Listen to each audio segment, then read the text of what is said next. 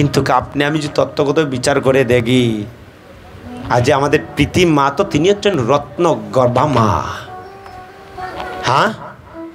সন্তান অনেকেই জন্ম দেয়, কিন্তু কয়জন বৈষ্ণব সন্তান জন্ম দেয়? হ্যাঁ? একবার কি বিচার করে দেখেছ? লাখো লাখো মা সন্তান জন্ম দিচ্ছে, কিন্তু কয়জন সেই গর্বে একজন সন্তান, বৈষ্ণব সন্তান ধারণ করে। আরেক বংশে যদি কোনো বৈষ্ণব হয়েই যায়, কতগুলো উদ্ধার হয়?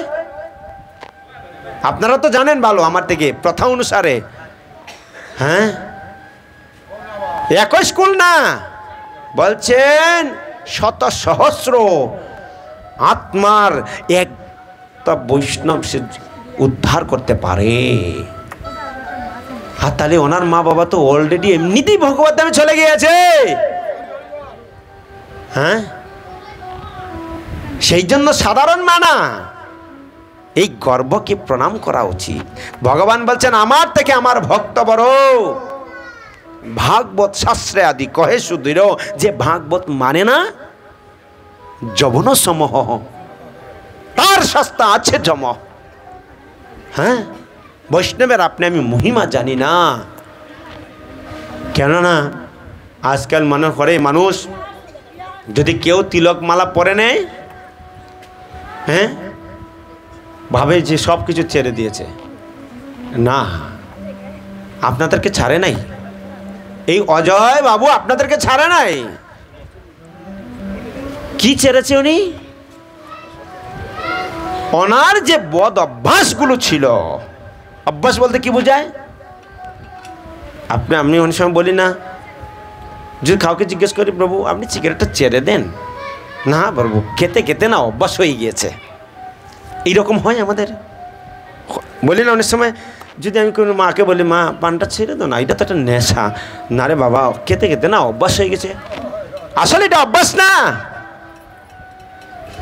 অভ্যাস তো অর্জুনকে বলছেন, হে কন্টি বলতো অর্জুন অভ্যাস না তু কন্তিও বৈরাগ না যাতে আজকে যখন ভাগবতী উৎসব হচ্ছে সকলে স্ত্রী, পুত্র, স্বামী সকলে মিলে চলে আসছেন এখানে। এটাকে বলা হয় অভ্যাস আর আমার আখাদ্য, কুখাদ্য, যে যেটা শাস্ত্রের বহির্ভূত যে জিনিস আছে, সেগুলোকে ত্যাগ করাকে বলা হয় কে? সেটাকে ত্যাগ করছি বলেই আজকে আপনি, আমি একজন শুদ্ধ বৈষ্ণব হতে পারি।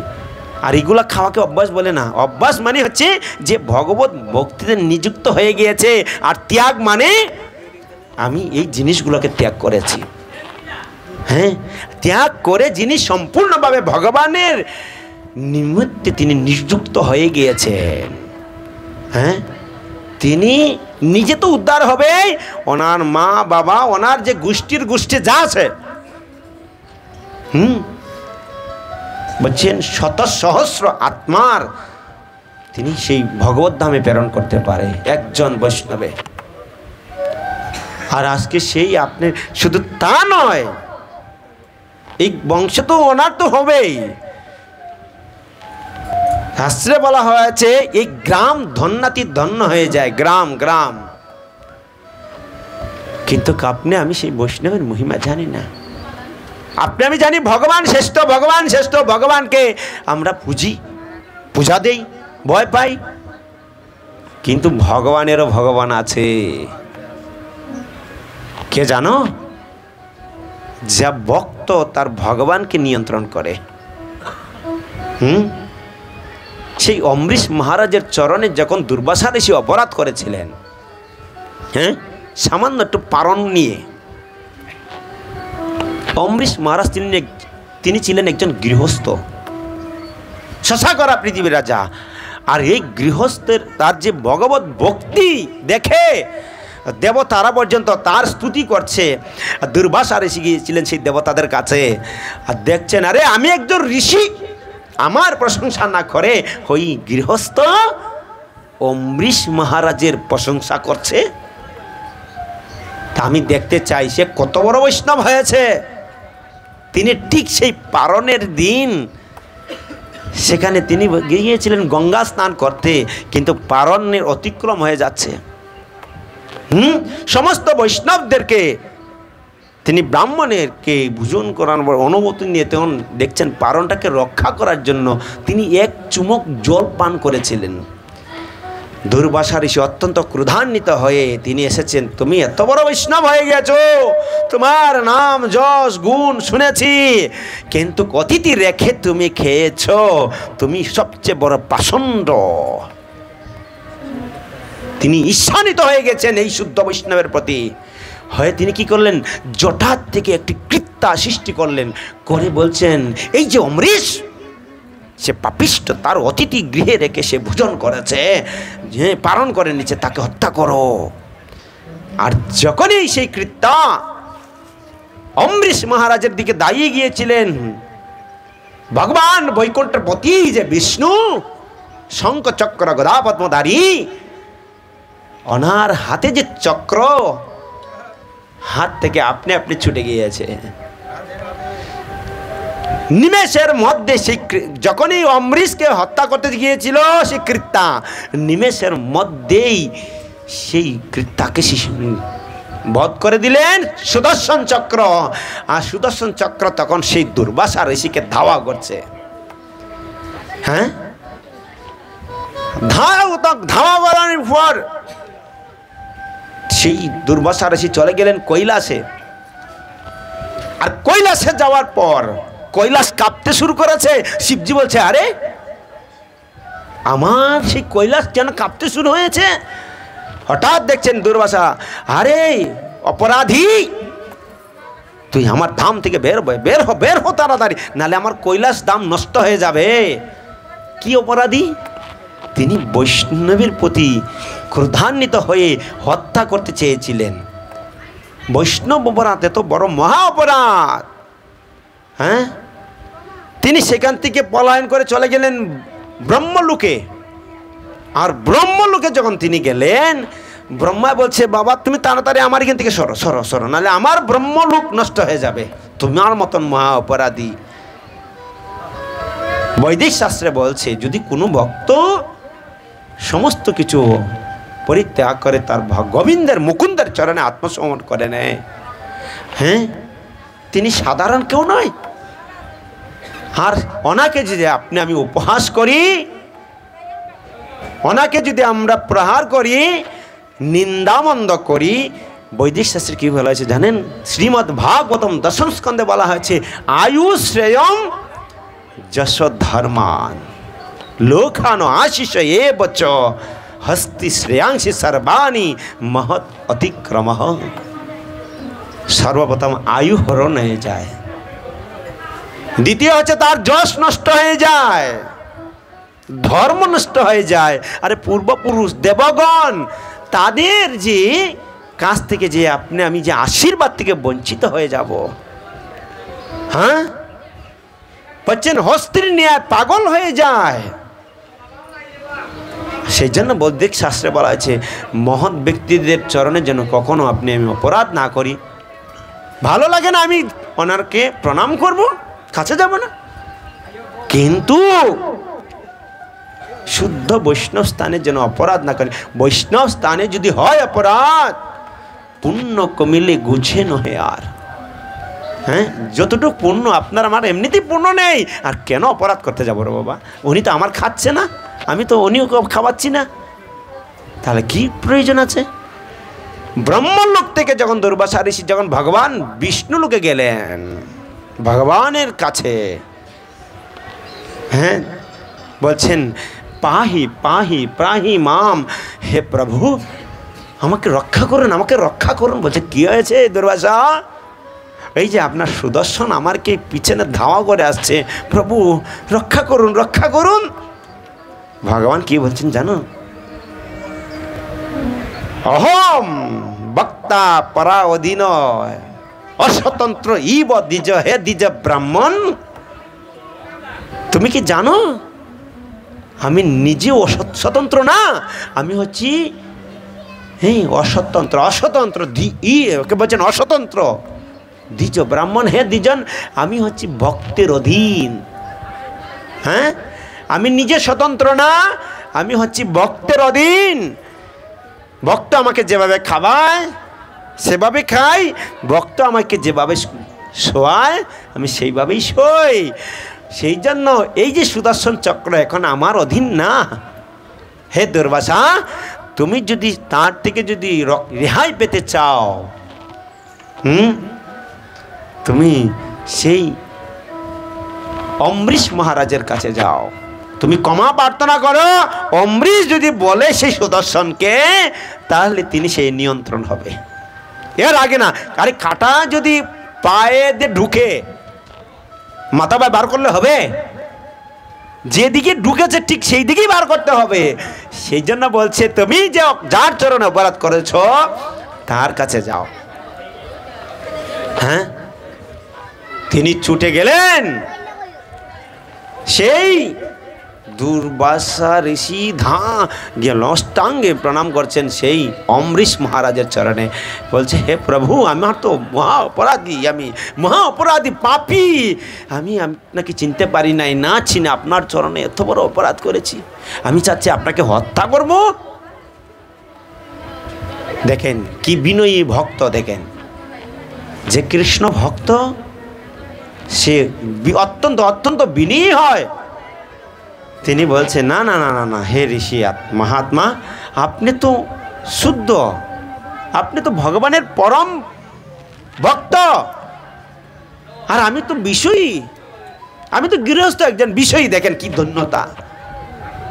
আর আপনাকে আমাকে যদি কেউ ধাওয়া করে মারার জন্য, আপনি আমি কি করব? হ্যাঁ? ধর বেটা, মার বেটা, ছাড়িস না। কিন্তু দেখুন সেই জন্য বলছেন, ভগবান বলছেন, আমার থেকে আমার ভক্ত বড়। ভাঙব ছাসরে আদি কহে সুধীর। হ্যাঁ সারা জীবন সে কৃষ্ণকে বোঝে, যে আমার ভক্তকে বুঝে না। সে দাম্ভিক, সে নহে প্রসাদের পাত্র, নহে সে কৃপার পাত্র। হ্যাঁ কোনো বৈষ্ণবগণ যতক্ষণ এসে যায় গৃহে, আপনি আমি ভাবি ও, চলে আসছে মনে হয় নেওয়ার জন্য, কিছু খাওয়ার জন্য। না না না না না না না। জানেন আজকে? যদি কোনো বৈষ্ণব অযাচিত কৃপা করে চলেই আসে, এমন কোনো দুর্ব্যবহার করা উচিত নয়। যদি আপনার সামর্থ্য না থাকে, একটা আসন দিতে পারেন। হে দয়ার ঠাকুর, যেহেতু আপনি আমার গৃহে এসেছেন আপনি সেই কৃপা করে আসনে বসুন। আর যদি সামর্থ্য থাকে, এক গ্লাস জল দিতে পারেন। আর যদি তিনি সেই জলটা গ্রহণ করেন হ্যাঁ সেটা তো আপনার আমার স্বীকৃতি হ্যাঁ কেন জানেন? যদি বৈষ্ণবরা এক দানা অন্ন ভোজন করে হ্যাঁ বলছেন, আপনার আমার যে সমস্ত কর্মফল, সেই সাধু বহন করে নিয়ে যায়। আর আপনি, আমি জীবিত হয়ে যাই। পাপ থেকে মুক্ত স্বাভাবিক। জীবনকে নির্বাহ করতে গিয়ে পাপ হয়ে যায়। আর পাপ যদি হয়, এই শরীর কলুষিত হয়ে যায়, ভারাক্রান্ত হয়ে যায়। আর কোনো অযাচিত কৃপা করে সাধু সন্তাগণ যদি এসে তিনি বুজন করে, যা তিনি আমার কর্মফল তিনি বহন করে নিয়ে যায়। তাহলে চিন্তা করেন, সেই সাধু কত মহান। হ্যাঁ? আগের দিনে আমরা শুনতাম অতিথি রূপে নারায়ণ সেবা। কোনো অতিথি যখন আসতেন, বলতেন, নারায়ণ সেবা হচ্ছে। আর কলির যুগে, অতিথি রূপে মহাবিপদ, বিপদ, মহাবিপদ। কেন? এই অতিথি রূপে যারা আসছেন, এখন আজকের মানুষ অতিথি সেবা দিতে খুব মানে অত্যন্ত দুষ্কর, করতে চায় না। কেননা বৈষ্ণব সেবা তো দূরের কথা। বৈষ্ণব সেবা বৎসরে একবার হয় কি না? বৎসর বৎসর চলে যায়, হয় কি না? সেই জন্য বৈষ্ণব সেবার ফলে কি হয় জানেন? পূর্বপুরুষগণ, তারা অত্যন্ত অত্যন্ত আজকে ধন্যাতি ধন্য। আর কি মাস? বৈশাখ মাস। এই বৈশাখ মাস হচ্ছে ভগবানের অত্যন্ত প্রিয় মাস। এই মাসে যদি কেউ সাধু গুরু বৈষ্ণবদেরকে ভোজন করায়। বলছেন, এক হাজার গুণ অধিক ফল প্রাপ্ত হয়। এক হাজার গুণ অধিক ফল প্রাপ্ত হয়। সেই জন্য তো বৈষ্ণব সেবা। সাধুরা আপনার ঘরে খেতে আসে না, কিছু নেওয়ার জন্য আসে না। কিসের জন্য আসে? বসুদেবের গৃহে নারদমণি গিয়েছিলেন। বসুদেব হাত জোর করে বলছে, আজ আমার গৃহ ধন্যাতি ধন্য, এই নারদ। বলছে, কীভাবে? আপনার চরণ রেণু আমার গৃহে পদার্পণ করেছে।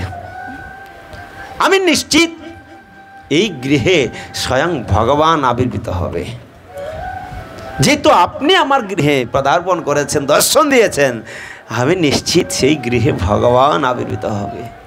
তাহলে চিন্তা করুন তারপরে কি বলছেন জানেন? আরে নারদ, আপনার চরিত্র তো নির্মল।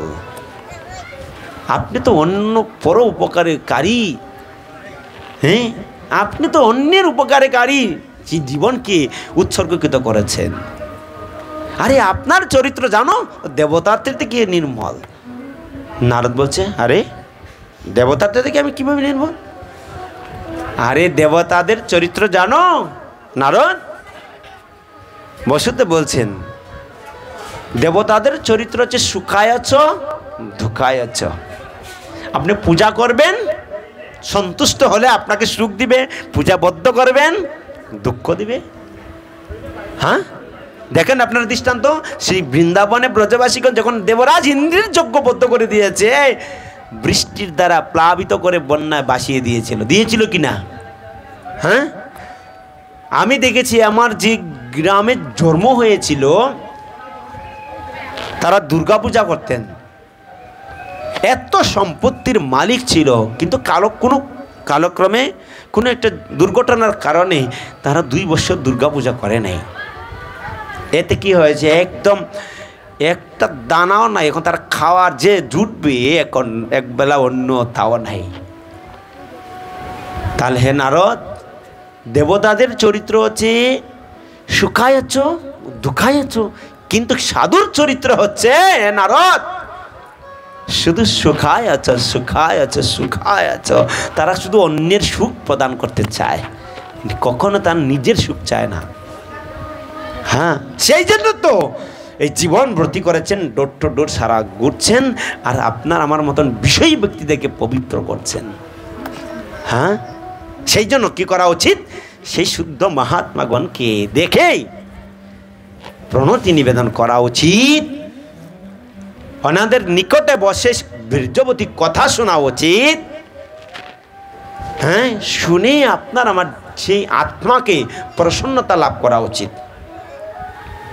কেননা আপনার আমার সেই প্রসন্নতা লাভ করছে না, কারণ হচ্ছে কি? হতাশায় জীবন। হ্যাঁ হতাশায় জীবন। সেই জন্য বলছেন, এ ঘুর সংসারে পরিয়ামান না পায় ধুকের শেষ না পায় দুঃখের শেষ জিজ্ঞাসা করে দেখুন, যারা আপনি আমি আছি, প্রত্যেকই সংসার যে ত্রিতাপ ক্লেশের দ্বারা জর্জরিত। কখনো কখনো মনে হয় না যেন এই মুহূর্তে গৃহ ত্যাগ করে যেন কোথায় গিয়ে মরে যাই। কোথায় যেন চলে যাই? ও তো মনে হয় ভারতে গেলে শান্তি পাবো, লন্ডনে গেলে মানে শান্তি পাবো আমেরিকায় গেলে মানে শান্তি পাবো। কিন্তু কোথাও শান্তি নাই। কেন? শান্তি যে কোথায় আছে আপনি আমি জানি না। না জানার ফলে সেই জন্য বলছেন, মায়া জবনিকে আচ্ছন্ন হওয়ার ফলে হ্যাঁ? আর ভগবান তো তৈরি করেছেন এই জগৎ, দুঃখালয় মশাশ্বত দুঃখের কারাগান হ্যাঁ? সাধু সঙ্গ করি, হরিব যে যদি। তবে হয়ন্ত ক্লেশ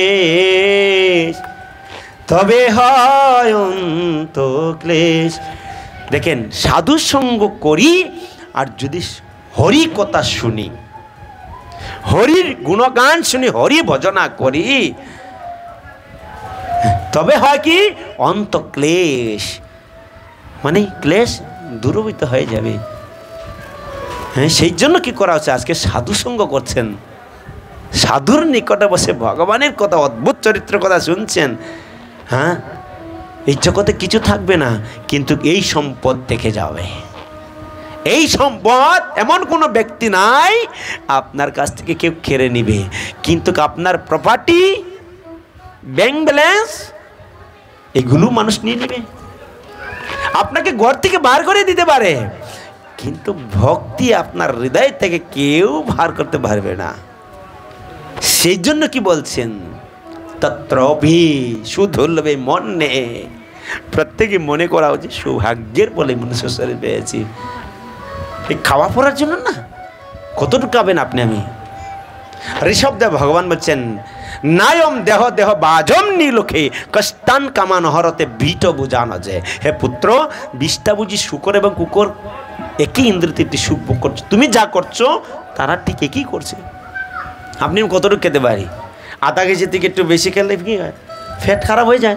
ডাক্তারের কাছে যেতে হয়।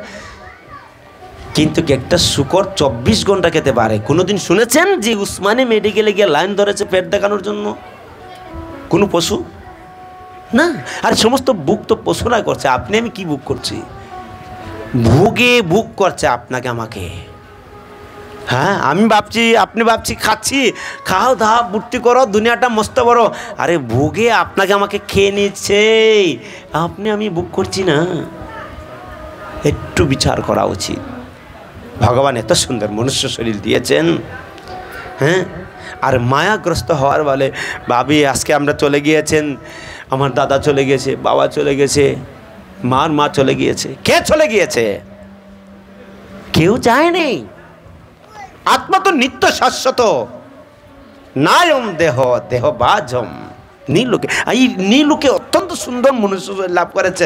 মনুষ্য শরীর লাভ করে আত্মা যে দেহে আছে হ্যাঁ? আত্মা হচ্ছে নিত্য শাশ্বত পুরাতন, হলেও চিরনবীন। শরীর নষ্ট হলে আত্মা কখনো বিনষ্ট হয় না।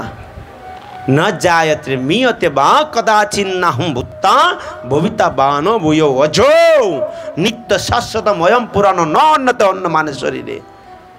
আত্মা কখনো জন্ম হয় না পূর্ণ পূর্ণ উৎপত্তি হয় না, মৃত্যু হয় না। তিনি জন্মরহিত, শাশ্বত নিত্য পুরাতন হলে চিরনবীন, শরীর নষ্ট হলে আত্মা কখনো বিনষ্ট হয় না। তাহলে আত্মা তো এখনও জীবিত আছে। হয়তো আরেকটা শরীর, তিনি প্রাপ্ত হয়েছেন। কিন্তু মনুষ্য শরীর পাবে কি না পাবে, সেটার নিশ্চয়তা নাই, কোনো গ্যারেন্টি নাই। যেহেতু আপনি আমি পেয়েছি সে মনুষ্য শরীর উদ্দেশ্য কি? পুত্ররা প্রশ্ন করেছে ঋষভদেবের হে পিতা, আমাদের কি উদ্দেশ্য? আপনি বললেন খাও, খাব না। ইন্দ্র যদি করব না, তাহলে করব কি? তপোদীপ পুত্র কাজেন সত আহ, কত সুন্দর। আরে পুত্র, তপস্যা করো, মনুষ্য জীবনের উদ্দেশ্য তপস্যা। হ্যাঁ? আর যত তপস্যা করবে, হৃদয় নির্মল হবে। আর কি তপস্যা কলির যুগে, সহজ সরল পন্থা এই কলির যুগে? তপস্যা করো। হ্যাঁ দিব্যম। পুত্র গাজন সত্যম। কত সুন্দর এই কলির যুগে দিব্য হরি নাম সংকর্তন প্রদান করছেন। সেই জন্য কি করা প্রত্যেকেই এই নামে ব্রতী হওয়া উচিত। হ্যাঁ গাও গাও, গুণ গৌরাঙ্গের গুণ, সরল করিয়া মন। যদি সরল চিত্তে যদি সেই ভজনে নিমত্ত হয়ে যায়, এইটাই তো জীবনের সার্থকতা। আর একবার যদি সে ব্রহ্মসুখ প্রাপ্ত হয়ে যায়, ব্রহ্মসুখম তো মন্থম। হ্যাঁ পরম ব্রহ্ম, পরম দাম পরম পবিত্রম ভবান। হ্যাঁ কৃষ্ণ হচ্ছেন পরম ব্রহ্ম, পরম দাম। আর সেই ব্রহ্ম সুখ যদি পেয়ে যায়, এই জড়জগতের বিষয়, বাসনার কি আর? কে থাকবে? আপনি ভাবছেন আমাকে মনে করেন আমার স্ত্রী আমাকে দেখবে? আপনি ভাবছেন আমি আমার অর্থ সংগ্রহ করে রাখছি, অর্থ আমাকে সুরক্ষা দেবে, বসে বসে খাব? না। আপনি ভাবছেন আপনার পুত্র আপনাকে লালন তোবালিত করবে? না। কর সম্পত্তির মালিক সত্য। বিছানায় পরে পরে মলমূত্র ত্যাগ করছে, হাঁস মুরগির মতন খাচ্ছে রে বাবা। দেখে হৃদয় ফেটে যায়। হ্যাঁ? এত বিধান বানিয়েছে মা বাবা, এত কষ্ট করে পুত্রদেরকে। হ্যাঁ?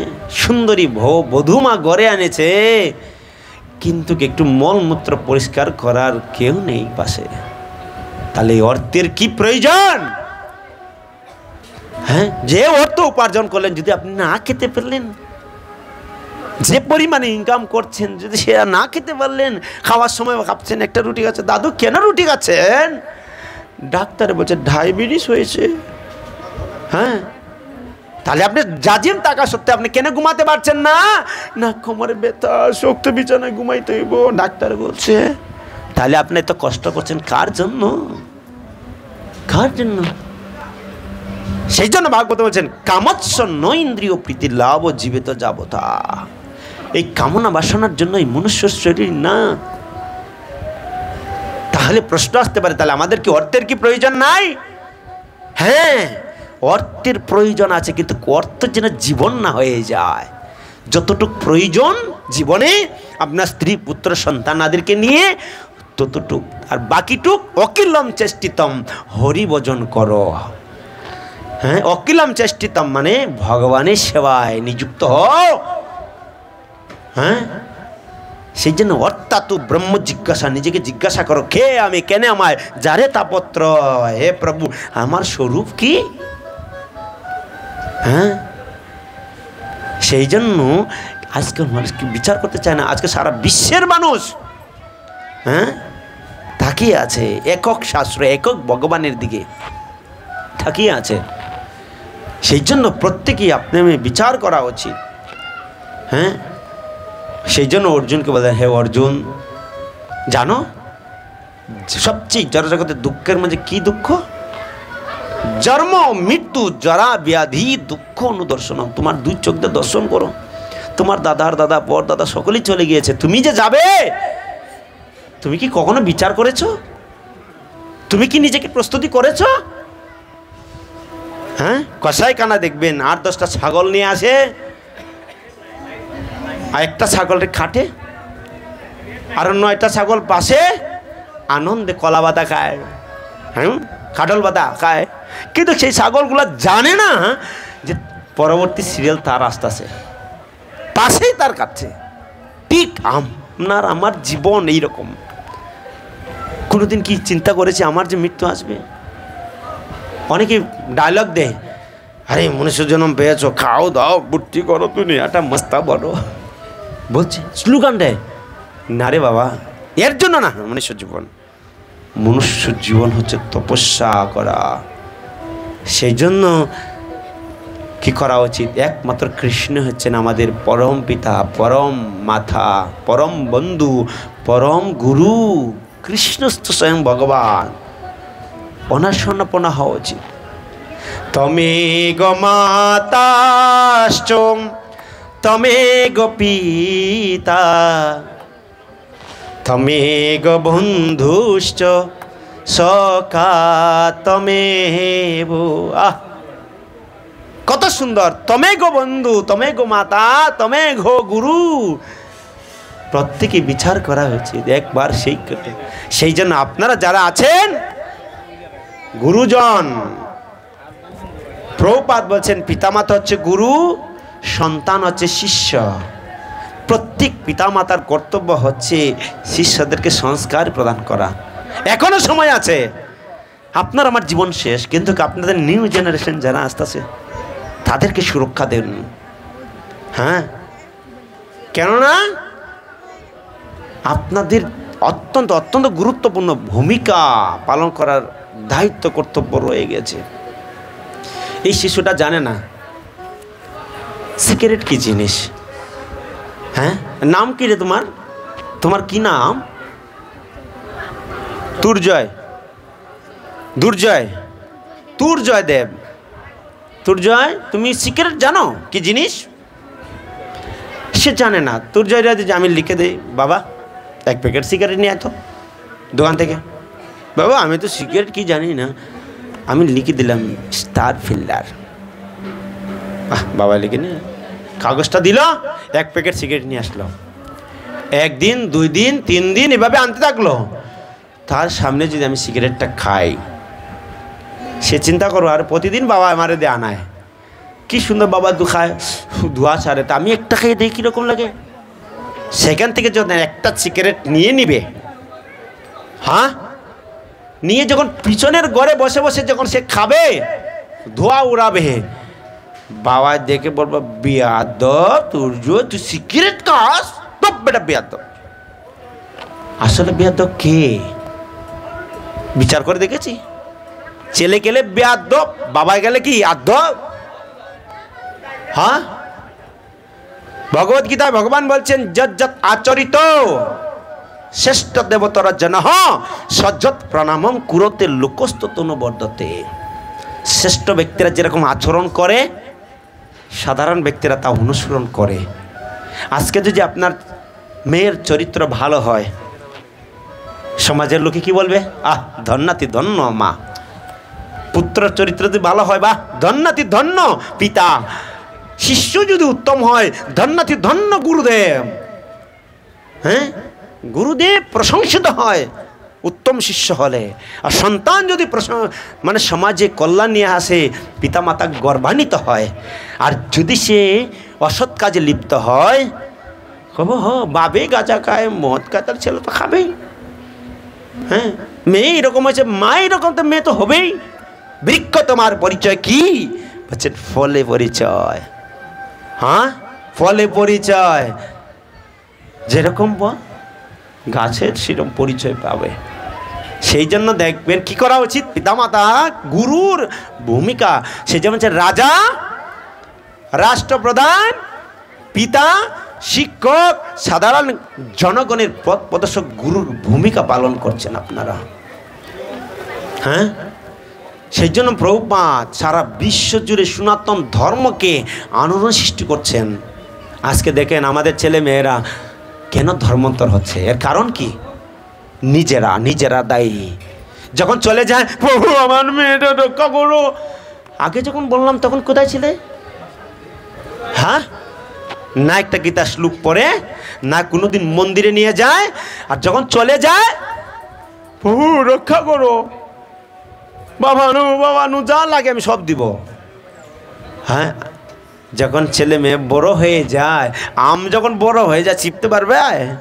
পিছল গায়ে পড়ে যাবে হ্যাঁ আর ছুটে থাকতে তখন যেভাবে চিপা দিবে, সেভাবেই রস বাইরিব বাইরিব কি না? এখন যদি আমি সেই দুর্জয়ে তুর্জয়ে আমরা বলি, তুমি একটা গীতা শ্লোক শুনবে। জাগাত বইয়ে শুনবে, পড়বে। কিন্তু যখন আপনার থেকে বড় হয়ে যাবে, সে জ্ঞানের অধীর আকার হয়ে যাবে। হ্যাঁ? বিদ্যা যখন অধিক হয়ে যাবে বিদ্যার গৌরবে ব্রমি দেশে দেশে। ধনয় পার্জন করি। মা, আমি ধন উপার্জন করছি, বিদ্যা লাভ করছি। তুমি কি জানো? বাবা, তুমি কি জানো? তুমি বসে বসে কাঁদছো, তুমি আমার জন্য কি করেছ? কেমন কষ্টটা লাগবে তখন? যদি সংস্কার না দাও হ্যাঁ? সেই জন্য আপনাদের কাছে আমার অনুরোধ যেখানে গীতা আছে গীতা পড়ান